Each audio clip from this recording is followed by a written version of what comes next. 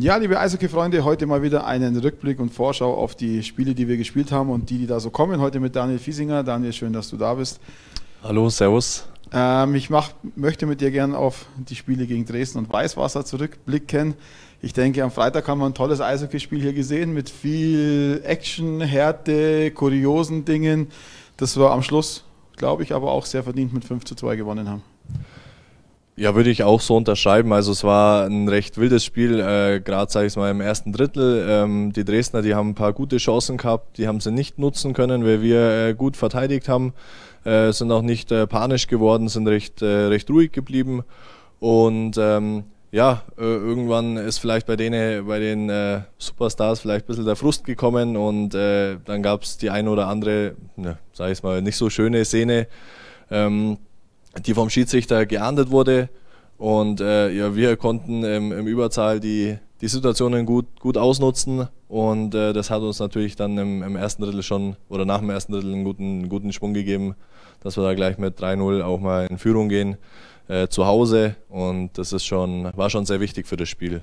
Und äh, ja, dann im weiteren Verlauf äh, haben wir vielleicht nochmal kurz ein bisschen nachgelassen, äh, haben die Dresdner nochmal rankommen lassen. Ähm, aber ganz wichtig war, dass wir äh, nicht zurückgesteckt haben äh, trotzdem und, und weitergemacht haben und haben uns am Ende dann auch mit, dem 5-2 auch äh, belohnt für, denke ich, äh, ein sehr, sehr gutes Eishockeyspiel, das man gut anschauen konnte.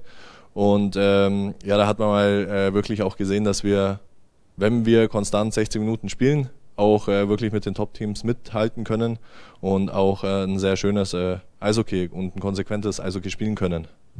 Du hast es angesprochen, ihr habt vielleicht ein bisschen nachgelassen, hast du gesagt, aber ihr habt euch nicht aus der Ruhe bringen lassen, obwohl die dann auf 3-2 rangekommen sind. Im Gegenteil, man hatte eher sogar das Gefühl, das war für euch so ein Zeichen, jetzt müssen wir nochmal äh, richtig Gas geben vielleicht und äh, auch ein gutes Gefühl dann als Mannschaft, dass man sagt, hey, wir brauchen uns da nicht aus der Ruhe bringen lassen, bloß weil es mal ein Gegentor gibt. In Weißwasser war es dann vielleicht ein bisschen anders, wo ihr wieder einen Doppelschlag kassiert habt innerhalb von einer Minute oder so.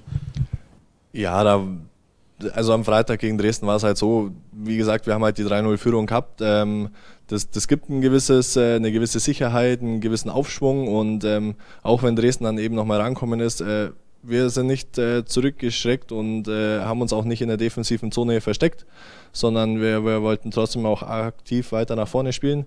Ähm, das ist uns ganz gut gelungen und äh, haben natürlich dann auch die, die Nadelstiche richtig setzen können. Ähm, ja, und ich, wie wir auch schon gesagt haben, ich glaube, das 5-2 war am Ende dann schon auch verdient, wenn man das Spiel anschaut. Ja, genau. Wenn Weißwasser dann, wie gesagt, war da eigentlich, glaube ich, richtig gut im Spiel. Ich war auch überrascht, weil oftmals, wenn man nach Weißwasser fährt, ist der Start eher nicht ganz so gut. Äh, über die Jahre so die Erfahrung beim Zuschauen. Diesmal war es irgendwie andersrum. Wir waren richtig aktiv, wir hatten richtig gute Chancen. Jetzt keine 5, 6, 100-prozentige, aber wir haben immer mal wieder uns ein bisschen festgesetzt und auf einmal waren wir irgendwie 2-0 hinten. Ich habe im Spielbericht geschrieben, aus meiner Sicht ein bisschen unverdient die Führung für Weißwasser. Ähm, zumindest aufgrund dessen, wie das Drittel war. Am Schluss geht vielleicht der Sieg auch in Ordnung für, für die Lausitzer, keine Frage. Aber warum passiert es uns so oft in letzter Zeit, dass wir Doppelschläge auswärts kassieren? Gibt es da einen, ist es, sagst du vielleicht, ist es Zufall oder steckt irgendwas dahinter? Also ich glaube nicht, dass es ein Zufall ist. Ich äh, könnte jetzt aber auch keinen direkten Grund nennen. Ähm, ja, wir haben gut gestartet. Die ersten 16 Minuten, glaube ich, haben wir äh, also auch gut dagegen gehalten. Es war wichtig, dass wir nach der langen Busfahrt äh, auch aktiv rauskommen, nicht äh, irgendwo uns in der defensiven Zone ähm, ja, äh, dass wir da nicht feststecken, sondern dass wir auch aktiv nach vorne spielen. Das ist uns da ganz gut gelungen. Ähm, ja, und dann haben halt Klein, Kleinigkeiten, ja, äh, haben die, die 2-0-Führung für Weißwasser äh, quasi herbeigebracht. Ähm, einmal haben wir die Scheibe nicht rausgebracht und äh, beim anderen, ja, es war einfach ein bisschen ungeordnet. Äh, beim zweiten vielleicht auch einfach ein bisschen unglücklich, dass mir der unterm Arm noch rausfällt und dann da liegt für, fürs offene Tor. Ähm, ja, aber ich sage es mal, im Weißwasser war es halt auch so, ähm, wenn man der Schussstatistik Glauben schenken kann, äh, was, was denke ich äh, schon der Fall ist, dann haben die ja fast doppelt so oft aufs Tor geschossen wie wir. Und ähm, es wird wenig Spiele, gewinne, äh, wenig Spiele geben, wo du mit der Hälfte von der Schüsse äh, Spiele gewinnst. Also deswegen ja am Ende vielleicht dann auch doch leider verdient äh, oder zu Recht verloren. Ich denke auch, die Schussstatistik hat schon für Weißwasser gesprochen. Man hat auch gemerkt, dass die, glaube ich, schon versucht haben, irgendwie jede Scheibe auch gut aufs Tor zu bringen, während wir so, Daniel Jun hat es, glaube ich, auch in der PK gesagt, immer so ein bisschen außenrum gespielt haben.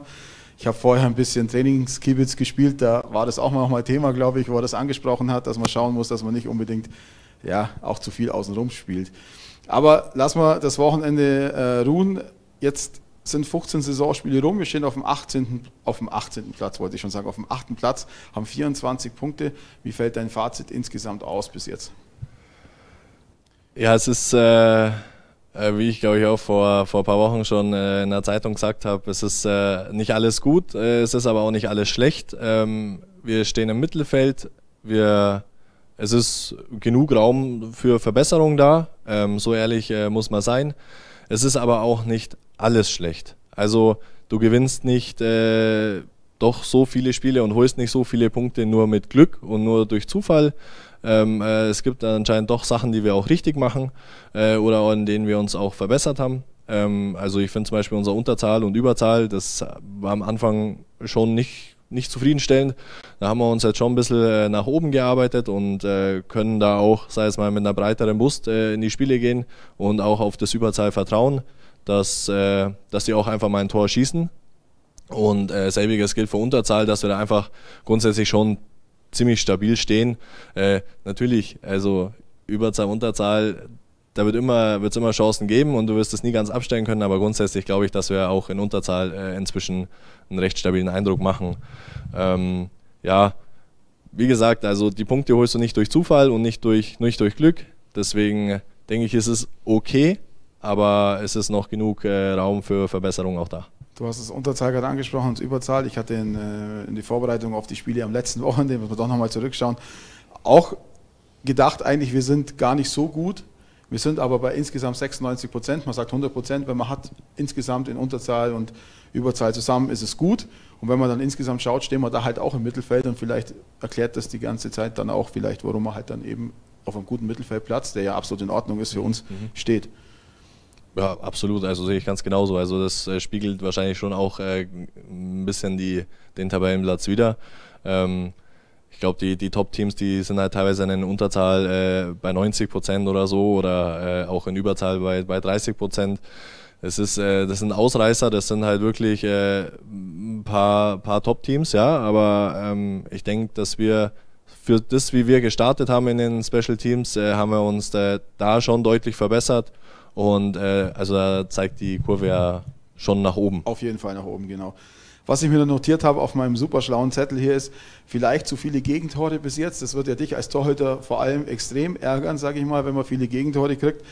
Ähm, woran liegt es, dass wir gerade, sage ich mal, was ja die letzten zwei, drei Jahre eigentlich unsere totale Stärke war, dass wir defensiv eigentlich sehr stabil waren. Jetzt wir, spielen wir offensiver und es gibt daher vielleicht auch Spiele mit mehr Toren oder sagst du, das kommt halt auch mal vor, vielleicht sieht es in, in zehn Spielen, wenn wir weiterschauen, wieder anders aus oder gibt es da auch Verbesserungsbedarf aus deiner Sicht?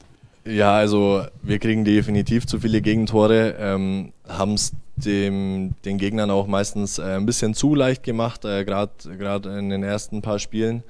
Ähm, ja, es ist es gab halt doch auch einige Veränderungen äh, jetzt äh, zur neuen Saison. Äh, viele neue Spieler, ähm, auch ein neues System im Vergleich zum letzten Jahr, ähm, das äh, jetzt aber auch wieder verbessert wurde bzw. geändert wurde. Und äh, grundsätzlich glaube ich, seit der Veränderung finde ich auch, dass wir schon äh, die richtigen Schritte in die richtige Richtung machen. Aber da ist es auch so, wie halt in, bei allem oder bei der Saison halt es ist noch Raum nach oben. Ähm, das, das muss sich jetzt entwickeln. Äh, natürlich, es ist nicht viel Zeit zum, zum Entwickeln und zum Abwarten da, aber ähm, grundsätzlich so peu à peu äh, bin ich mir da ziemlich sicher, dass das schon auch besser und konstanter wird und dann äh, folgen vielleicht auch mehr engere Spiele, vielleicht mal ein 2-1, ein 3-1, 3-2 oder sowas, wo nicht immer fünf oder mehr Gegentore da auf der Anzeigetafel stehen. Ich glaube, für die Zuschauer ist es manchmal ja doch ganz schön, wenn viele Tore fallen und eben halt für einen Torhüter und für die Verteidiger nicht so. Wobei die Verteidiger haben meiner Meinung nach auch viel Kritik einstecken müssen. Insgesamt glaube ich aber, ist es halt schon ein Mannschaftsthema, oder? Also es kann ja nicht nur jetzt am Verteidiger liegen oder am Torhüter oder am einem Stürmer.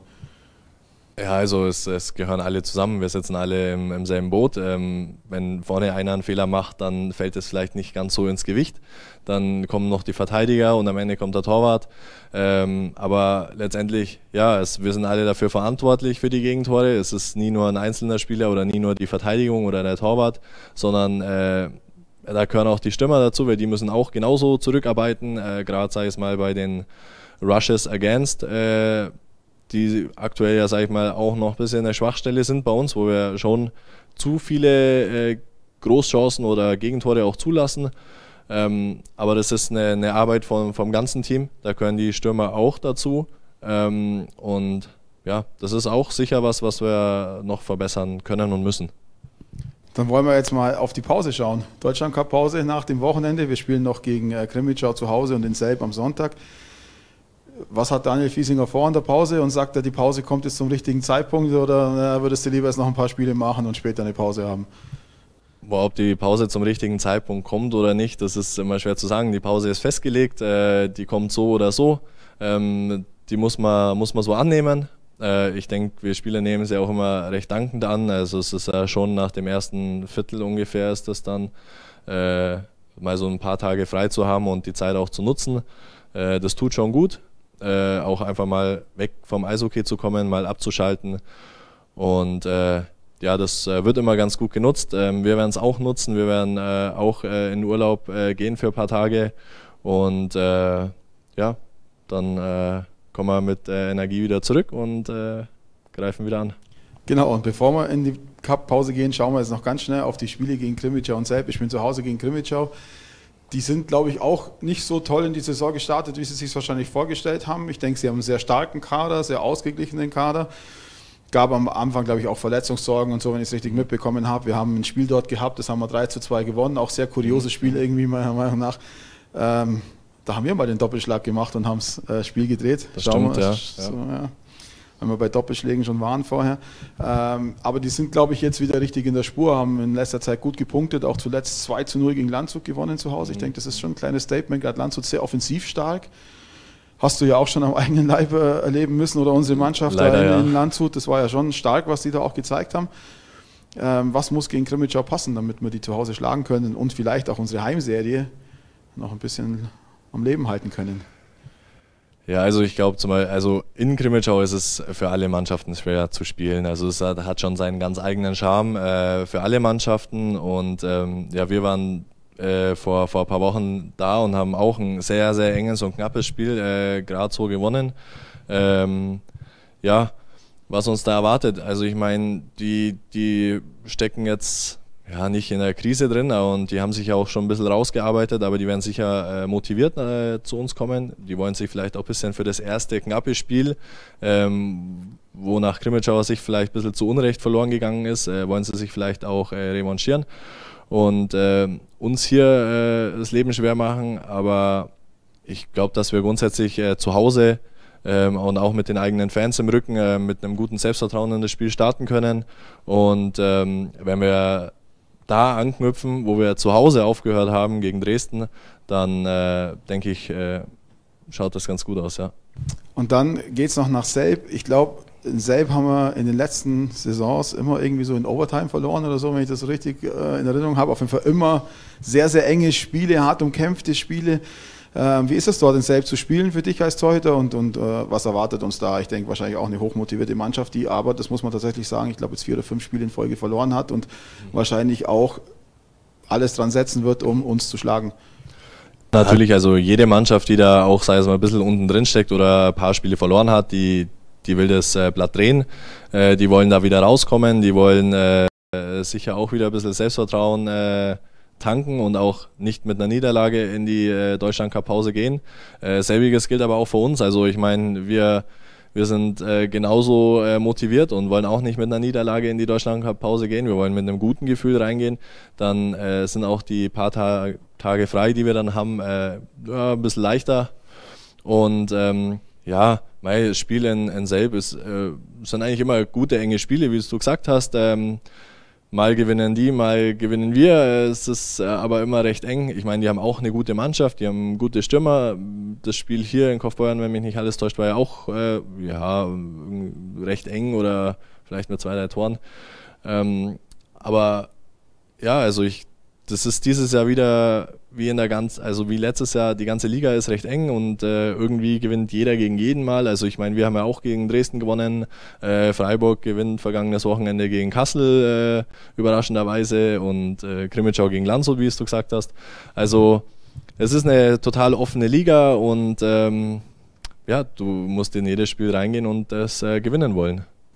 Ich glaube, das trifft den Nagel auf den Kopf. Die Liga ist eng und du musst das Spiel gewinnen wollen dann wünsche ich dir und der Mannschaft ganz, ganz viel Erfolg dabei, damit ihr mit dem guten Gefühl in die Deutschland Cup Pause geht, die Deutschland Cup Pause mehr genießen könnt, wie vielleicht, wenn ihr mit einer Niederlage reingeht.